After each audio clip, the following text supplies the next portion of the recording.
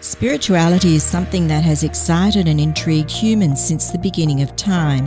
It's an idea that preceded many inventions and is a subject that continues to baffle us to this very day. There is no doubt that there exist aspects of the universe that simply cannot be explained with conventional reasoning methods. We have to believe in the possibility of a spiritual realm that is involved in everything we do and more. This topic is discussed extensively in my book called The Better Business Brain. My book links the physical and spiritual domains to familiar ground, the business world. My book also highlights the benefit of having a higher understanding of the world around us, both in terms of professional development and our growth as human beings. Grab your copies today and learn more.